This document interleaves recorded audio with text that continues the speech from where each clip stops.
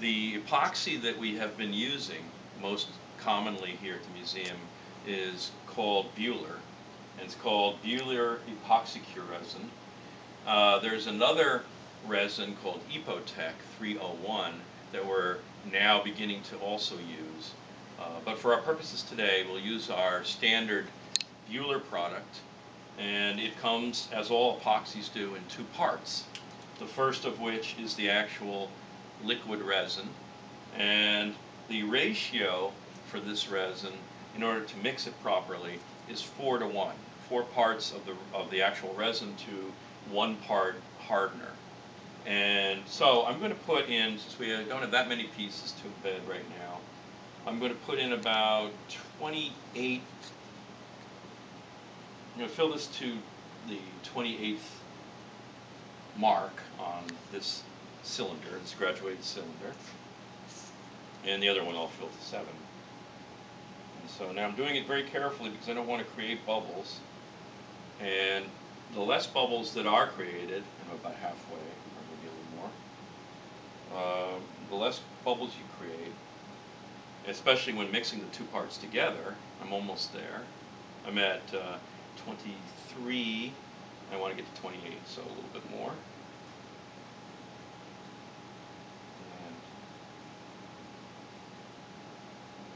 see where we are. We're a little over, but I can fix that. Um, so, it's about 30 right now. And I'm going to put this back.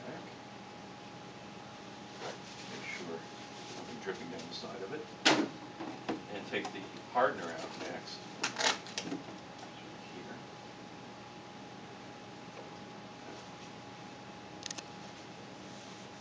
And I'm going to put in about seven. Fill the same type of graduated cylinder for the hardener. They're marked because you don't want to ever mix these up. And, uh, so this one, which we use for the hardener each time, will fill up to hopefully about seven. And right now it's at about six. We're very close. It's not going to take much at all to get that where we want it. A little more than that no, that's about it. I'm going to let that reach the, reach the rest of it. I think we're at seven. So that actually came out well. It may go up a little bit because there's still some liquid on the side of the cylinder, but that can be adjusted. And I'll put the other these two containers back and, and then take a look and make sure we have the right amounts for our mixture. And in this case, we have a little more than we need here, so I'm going to pour off the excess.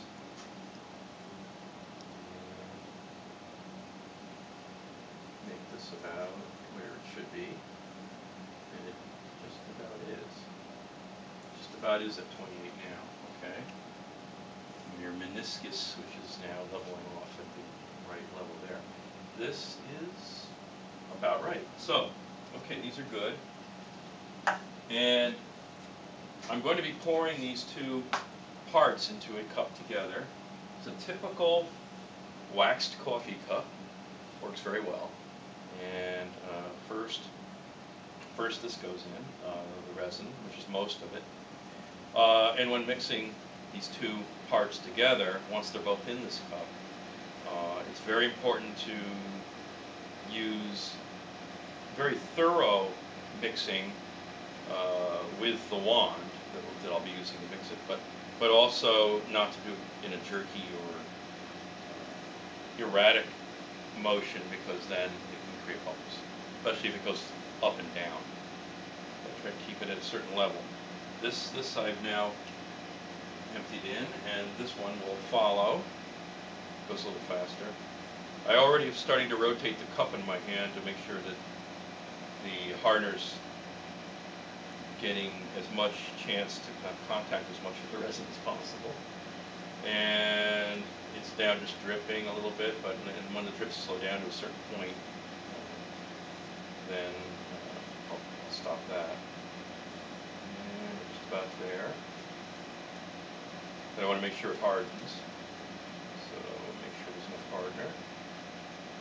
You don't want to put too much hardener in because then you get an exothermic reaction. And if you use too much of this mixture at a time, you can also get an exothermic reaction. So it's important to keep aware of that when doing the mixing. All right, now I've gotten to the point where I can actually mix these. And I have a dowel here, a glass uh, stirring rod actually. And I'm going to now start to stir the resin. And if you notice, at first it's a little cloudy and swirly looking. And it'll be like that in the beginning uh, until the components start to actually mix together better. And now I switched my direction. So I'm creating swirls in uh, the opposite direction. I went first counterclockwise, now I'm going clockwise. And now I'm going counterclockwise again. And now I'm going back and forth. I just want to make sure it's mixed. We have had experience years ago uh, in which unmixed, un inadequately mixed resin uh, caused the, um, the epoxy to set poorly and incompletely, and then we had to remove it and re-embed the pieces, and it was very difficult to remove. So it's important to mix it properly. I can't stress that enough. You also don't want to create bubbles, so I'm trying to be very even-handed as I stir this in order to prevent that. And it's getting clear, it's beginning to look like it's mixing enough. Uh, I tend to be a perfectionist and I don't want to not have mixed it enough. So I'm going to continue mixing a little bit, even though it looks pretty mixed. And just make sure it is. All right, I think it's pretty good. Now to make sure that any bubbles that were created uh, while mixing are brought to the surface of this. I then take it over here to this device, which is a vibrating tumbler. And I turn it on. And uh, the cup sits on that. Then I hold it like this. And uh, there we are. And turn it off. And what that does is any bubbles, and there aren't really any that I can see here, but any bubbles that were there, usually small ones, rise to the surface and they're usually in the center of the cup. And then you can take a spoon and just skim them off. But in this case, it looks like we don't really have any bubbles to worry about. So what I'm going to do now is pour this mixture into each of the cups that I prepared earlier.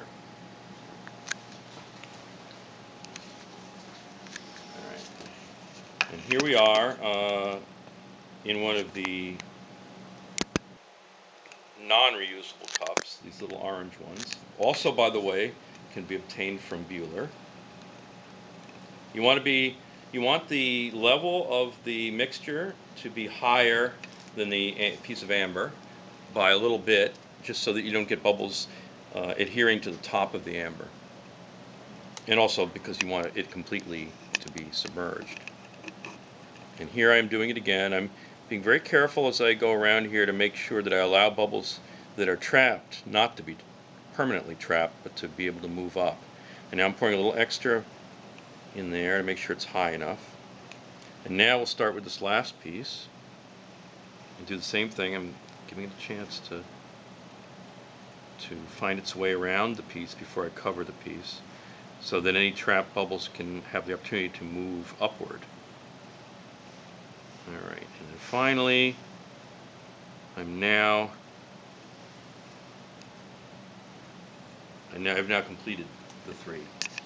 So, what we have here then is the epoxy completely covering each of the three pieces of amber on all but the bottom sides. And the bottom sides being far from the inclusions. And the next thing to do uh, at this stage is to actually put these under vacuum for several minutes in order to allow this resin to impregnate cracks, pores, uh, and other weak areas in the amber uh, and displace any air that's trapped in the, inside the amber. So we'll now bring these over to the this device here, which is the actual embedding device, the vacuum pump here, and a bell jar. We have some uh, vents or valves which I close in order to not allow air to escape during the vacuum embedding. And they're pretty tight now. I'm going to take this bell jar off, and what I'm going to do is create a seal so that when we put these pieces in here and cover them with the bell jar, a, uh, there will be no air entering the uh, chamber. So, so I take some petroleum jelly,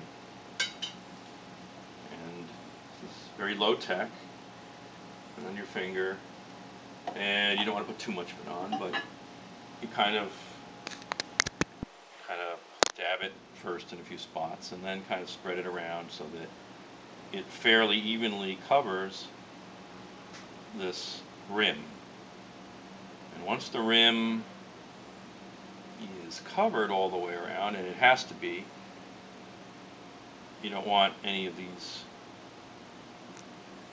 areas to be missed because then uh, it can allow air in. You can usually tell how good the seal is by trying to move it once it is engaged, once the vacuum is engaged. All right, so now we're ready to put the pieces in. Now, I'm not going to put too many in at once. We only have three today. And I'm going to arrange them in such a way that I can remove the bell jar safely afterwards. And I'll explain that in a minute. All right, here are the three cups. The bell jar now will be placed over them.